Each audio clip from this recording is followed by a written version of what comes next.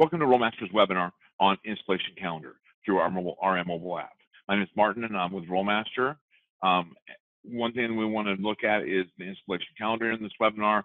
So what we're doing is, is we're going to start in Rollmaster and then work our way to the calendar. Um, when you start in Rollmaster, you're going to have your jobs, um, your job entered into the system, and you would click once the job is in here with all the labor and everything in here. You can do this at any point, whether or not you have materials ordered or they received or, or at any point during the course of the sale, you can schedule the installation. So by clicking on install dates, you'll see the two labor lines on here that we're going to schedule for the labor. I will go ahead and add my tile labor here first.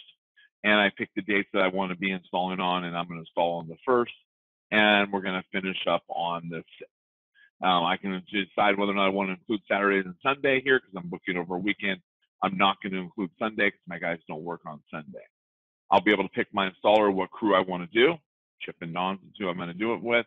If for some reason or other the sales rep or the person doing, doing scheduling at this point doesn't assign the installer, the installation, the installer can be assigned at a later date as well. Hit continue, and it takes me to a list of all my products I have out there. Since this is my tile, I'm going to go ahead and click on the lines that require tile. That my tile guy will be doing, so he's going to be doing the lay, the tile and the and the demo of the existing floor in that area. I can label it if I want to label it up here by naming it something else, by naming it chips tile work order, if I choose to, or you can leave it blank with what Rollmaster said the name was. I'll click save and I'm done. Now I can come down here and I can see that I've got my job scheduled. And now I'll go ahead and go schedule my carpet as well. I'm finishing up my install on the 7th, so maybe we'll go in there uh, on the 8th. It's a one day install, and I'll pick a different installer to go in there and do the flooring for there. So continue. Again, my list of products pop up here. I grab my tile, I mean my carpet items, my carpet, and my pad.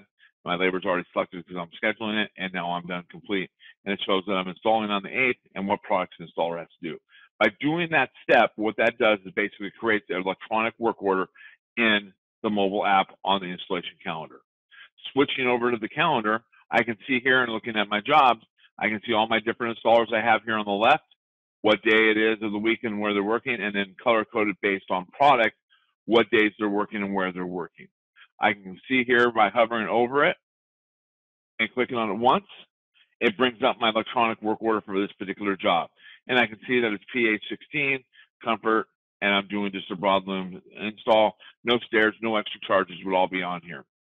The black box indicates that there's line notes, so the installer would be able to click on the box and see any of his line notes here. Master bedroom, master closet, bedroom two and bedroom three. He needs to use the seam diagram that they have attached here for him and then return the carpet tube back to the warehouse. So any type of notes you would have on here, these would be the line notes that would be coming into Rollmaster. I have all my lines here. Couple other features here for the installer to be able to have access to is there's a camera button up here on the upper right hand side that would allow him to take pictures of the job site so that he could send them back to you guys. Maybe you want him to do uh, um, take pictures after the job for your guys' website to to do marketing and things of that nature. So they have a camera button to do that with. They also have a GPS button. This would take the address of the house, of the ship to address, and load it into the navigation on his phone so that he'd be able to um, have that there as well. You have all the information for who the sales rep is, who the builder is, the ship to address and where it needs to go, um, and then any type of special instructions. In this case, the security number to get into the home is right there. There is a notepad here, and these would be general notes within Rollmaster, and you can see that here. One thing also to note here is the installer can make notes back to you guys.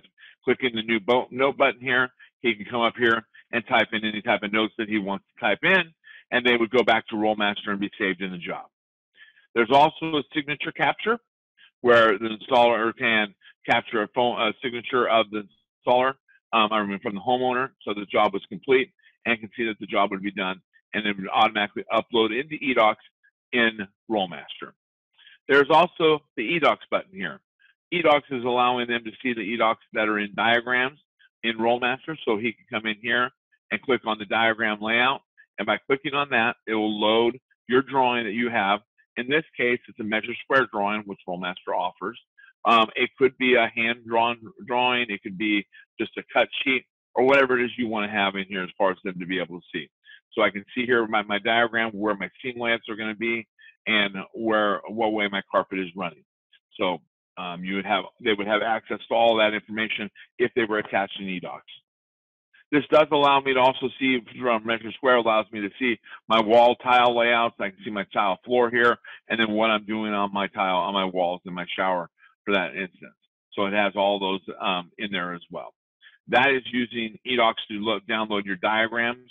In eDocs, you can do any type of document, JPEG file, TIFF file, whatever it may be. So there's some drawing, there's pictures in here that the installer had taken on the job site.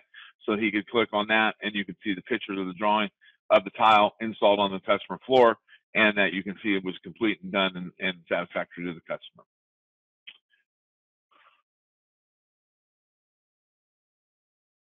One other thing to note is that the installer using the mobile app can submit an invoice to the store for the job that they're doing an invoice from the customer. An example of an invoice would look like this.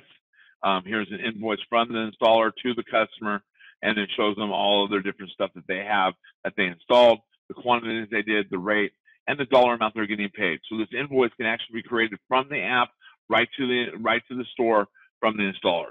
Um, also, there's a note box down here for them to put any type of additional notes in here. For instance, someone um, missed something on prep or there was maybe an additional charge that they need to want to note, the installer can make a note down here that says they need $50 extra for prep per Michael in the office. So you can go back to Michael and ask them, and then you can add that to their bill going forward.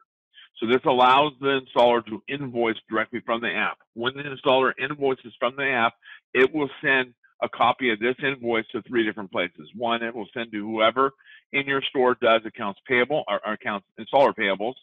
And then secondly, it will attach a copy of the bill to eDocs in Rollmaster for viewing later on. And then thirdly, it will email a copy of this bill to the installer for a copy for his own records. Um, this kind of takes us through the steps and what's available with the installation calendar in Rollmaster. A couple other notes is, is the materials are all color coded based on product type in the system. Um, you, you, can set this up to for deliveries. So if you wanted to have, if your company does deliveries, you can put your delivery driver on here and you can see all of his deliveries he's doing for that day's work. It does separate everybody out by installer. When an installer logs in, an installer can only see his work. So this installer would only see his work here and what he's doing this week for carpet installs. Um, it doesn't have access to anybody else's calendar or schedule. Um, and he is also not allowed to change anything. So if he decides it doesn't work on Monday, he can't just unassign himself from the job. He has to call the store and let them know. Um, we're going to move back into Rollmaster here and look at some of the setup features that you would need to do in order to set this up. In setting up a installer in Rollmaster, you do have to give them user access. So you do want to set them up as a user within Rollmaster. The user ID has to be their installer ID in Rollmaster. So um, it does have to match between the installer ID and the user ID have to be the same. But once you have a user set up for the installer, you'll come into um, user dashboard or user web dashboard um, in user settings. And when you click on that, you'll go find your installer by clicking on user ID or whoever it is you're wanting to set up. In this case, I'm going to set up my installer here and I'll go ahead and hit accept and it will load his information in here and the way he currently is set up. You will need to give them access to the RM, the Rollmaster web. They have to have access in order to get into the calendar. Secondly, you'll need to give them access to the installation calendar. This will allow them to see the calendar and going forth from there. Any other options here, typically the installer does not need to have access to until we get down to the bottom, towards the bottom, and it will ask you, is this is this installer, if this is an installer, you want to mark him yes, and this will allow him only to see his work in there. So the installer will be marked as a yes. Then you have number of days in advance you can allow them to see the calendar. We default to 999, which is basically the end of time. You can default it to where they can only see one day in advance, five days in advance, four days, whatever it is you want. In this case, I'm going to make it seven days in advance. He's able to see his work. Lastly, is the last few questions down here that we have what you want to do is you'll want to make, say, do you want this installer to be able to see his costs on his invoices? And do you want to allow him to submit invoices? Typically, those are yes. If you have, if he gives access to a, a helper per se, maybe he doesn't want the helper to be able to see labor rates and things of that nature. So you do not want to mark those yes for that particular person. Lastly, is you want to, um, that would be the last questions for installers to be able to do that. If you have the new, uh, new barcode gun from Rollmaster, the Android device for barcode, you do want to make sure that your last three questions here are all marked no. That way they don't have access to the barcode system. It is very critical that you want to mark those no for installers. Once you've done the, the setup here, you'll hit your save button. That will save that user so that he can go back in and, and log in to RM Mobile and be able to see his installation counter. One last setup feature that you will need to do for him is you will need to set up eDocs. And what you'll do is you'll put in his username again, and then you want to have modules he's allowed to see. So typically, installer one would be the only one marked yes. I would mark no on all these others. So he's not allowed to get into those, and he can get in there to that one. And then what do I want to allow him to do? I want to allow him to um, attach documents, yes. I want him to be able to view documents. I don't want him to a description. I don't want to do that, but he needs to be able to download and save. And then no on deleting documents. And then what I will do is I will allow him to access what folders. I want him to be able to access um, diagrams only. So I will change all the other ones to no, and then I will be able to save this and be done with it.